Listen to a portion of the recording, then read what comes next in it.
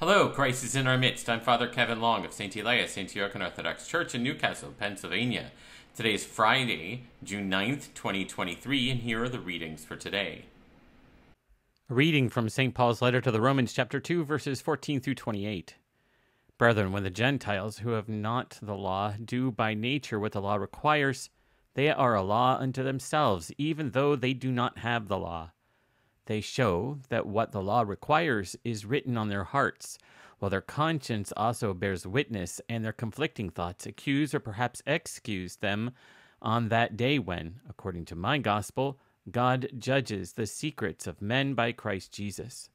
But if you call yourself a Jew, and rely upon the law, and boast of your relation to God, and know his will, and approve what is excellent, because you are instructed of the law, and if you are sure that you are a guide to the blind, a light to those who are in darkness, a corrector of the foolish, a teacher of children, having in the law the embodiment of knowledge and the truth, you then who teach others, will you not teach yourself? While you preach against stealing, do you steal? You who say that one must not commit adultery, do you commit adultery? You who abhors idols, do you rob temples? You who boast in the law, do you dishonor God by breaking the law? For, as it is written, the name of God is blasphemed among the Gentiles because of you. Circumcision indeed is of value if you obey the law. But if you break the law, your circumcision becomes uncircumcision. So, if a man who is uncircumcised keeps the precepts of the law, will not his uncircumcision be regarded as circumcision?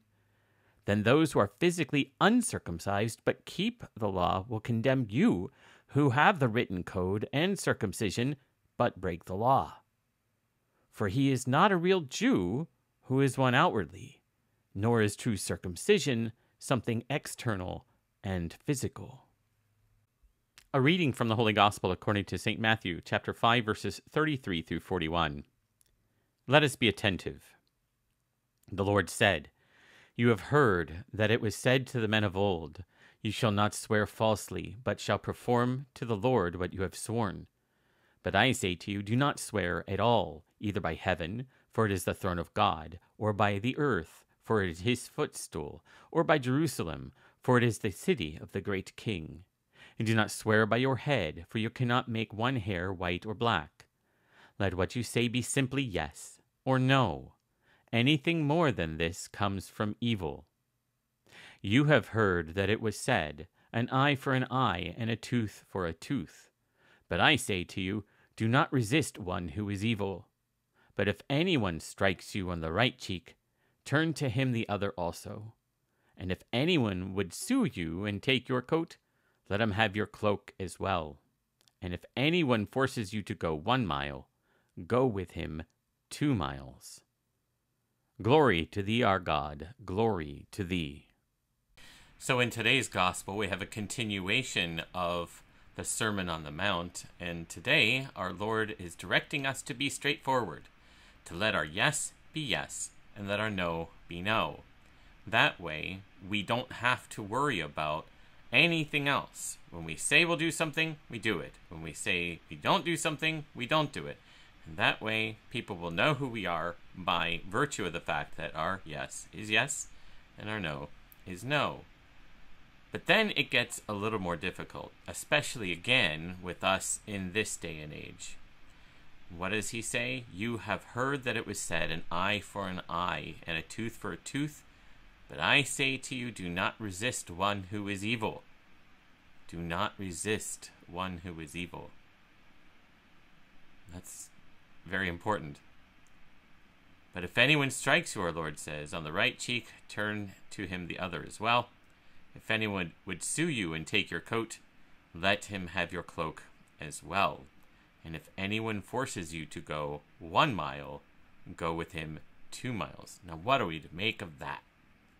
Well, again, without an understanding of just who our Lord is, it's very hard for us to see that this would be something that Christians would be expected to do.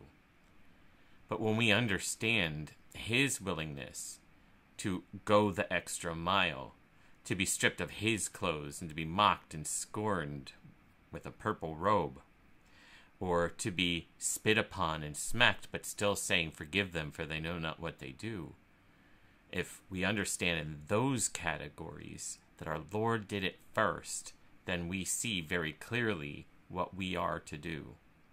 And this is very difficult in today's era of power politics because to do these kinds of things is a sign of weakness, and other people might exploit those weaknesses. But our Lord is very succinct in this. We are not to exercise power and coercion. We instead are to exercise mercy and compassion and forgiveness. And when we do that, then we are willing to walk the extra mile. We are willing to give the cloak as well as the coat and we are willing to turn the other cheek, not to hide the cheek that was smacked, but to offer the other cheek that was not smacked to the same expectation. Wow, these are difficult sayings. And we can live into them. But that needs a couple of things. The first is it needs faith in Christ Himself, that He is indeed who He says He is, and that He will follow through as he does with his promises and with his great promise of our eternal life. And the other thing that it requires is a community. It's very difficult to bear these kinds of difficulties in solitude. But when we have each other to admonish, to encourage, to strengthen, to pray for, to nourish, then it becomes easier for us to be the kinds of Christians that Christ calls us to be here in the Sermon on the Mount. It's not an unreasonable expectation, but it is an expectation that's difficult to do without faith and without a good faith community behind us, supporting us and strengthening us through the Holy Spirit. So that's the key to this. The key is we don't do this journey alone. We do it with our God who loves us profoundly and deeply, and we do it with our neighbor who is willing to hold us up as we ourselves hold our neighbors up. So may God give us the strength to be the kind of Christians that we are called to be in this world people of reconciliation, of peace, and of love. And may He always be with us, no matter what may befall us. Well, I hope you found this video helpful. If you did, please consider giving it a like and subscribing to this channel. Share it with your friends, and if you have any questions or need any clarification, ask me a question. I'll be happy to try to respond as soon as I'm able. In the meantime, I pray that God will bless you and those that you love today and always. In the name of the Father, and of the Son, and of the Holy Spirit, one God. Amen. Thank you very much for joining me today. I pray you have a great day, and God willing, we'll see you tomorrow.